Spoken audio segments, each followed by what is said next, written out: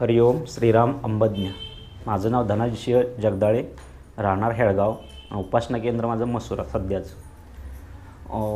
बापूंचा अनुभव असे म्हणजे भरपूर आहेत. सांगण्यात म्हणजे थोडक्यात सांगता येत नाहीत एवढे अनुभव आहेत बापूंचे. तरी पण मी बापूंच्याकडे ओढला कसा गेलो हा ह्याचा अनुभव एक थोड थोडक्यात मी सांगतो. मी कामानिमित्त म्हणजे दोन हजार तीन साली जी गावाकडून मुंबईला गेलो होतो.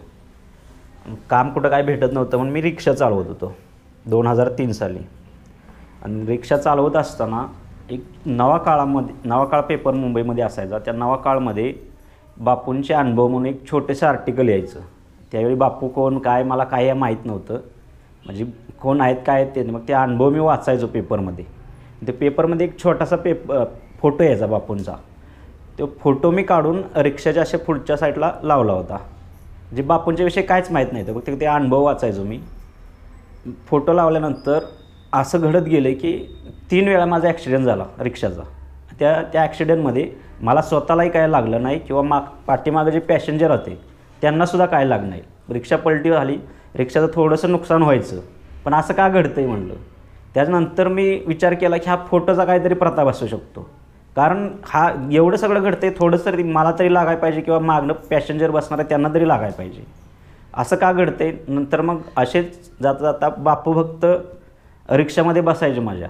मग एकदा असंच डेअरिंग करून त्यांना विचारलं की यांचं प्रवचन वगैरे कुठं चालतं काय? मग त्यांनी थोडक्यात मला माहिती दिली की बांद्रा या न्यू इंग्लिश स्कूल बांद्रामध्ये प्रवचन असतं. तर मी त्यांना म्हणलं की नेक्स्ट टाईम तुम्ही ज्यावेळी जाणार असाल त्यावेळी मला बरोबर घेऊन जा. तसंच घडलं की ती ज्यावेळी निघायच्या वेळी मी बरोबर त्या स्टँडला रिक्षा घेऊन उभा होतो. ते आल्यानंतर त्यांना त्याच रिक्षात घेऊन मी ठाणे स्टेशनला रिक्षा स्टँडमध्ये लावले आणि त्यांच्याबरोबर ट्रेनमध्ये बसून मी बांद्रा जिथं उपासना केंद्र म्हणजे उपासना चालते बापूंची किंवा प्रवचन चालायचं गुरुवारचं. जर गुरुवारी बापू विष्णू सहस्त्रनामावरती प्रवचन द्यायचे. त्याच ठिकाणी मी गेलो आणि प्रवचन ऐकलं पूर्ण.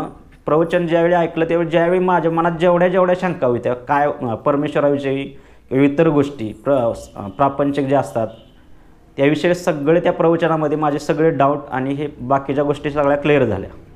त्याच्यानंतर मी बापूंच्या प्रवचनात ओढला गेलो. म्हणजे बापूंच्या सेवेत म्हणजे जिथं सेवा असेल पहिला मेंटल हॉस्पिटलला सेवा असायची. अ, गो विद्यापीठमला सेवा असायची. जिथं सेवा असतील तिथं मी जायला लागलो आणि बापूंचे प्रवचनही अटेंड करायला लागलो.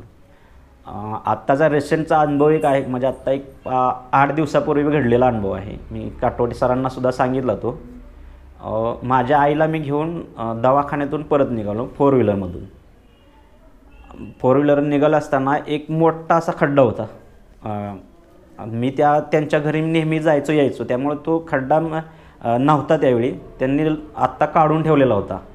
कशासाठी? पाईपलाईनच्या कामासाठी त्यांनी काढून ठेवला तर तो माझ्या लक्षात नव्हता. तो काढला असेल किंवा काय? मी नेहमी आपला जायचो यायचो म्हणून तो तिकडं दुर्लक्ष केलं आणि गाडी गेली. गाडी मी गाडी पुढं गेल्यानंतर लक्षात आलं की इथं खड्डा होता. गाडी मो मोठ्यानं थोडीशी आदळली अशी. आणि जवळजवळ असा गुडघ्याभर अंतर असेल त्या खड्ड्याचं. आणि एक चाक चाक इकडून गाडीचं आणि एक चाक असं. आई पाठीमागं बसली.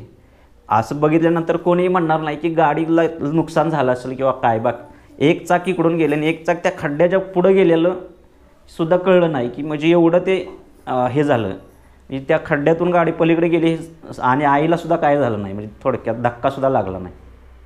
असे असे अनुभव भरपूर आहेत असे. हरिओम श्रीराम अंबदने.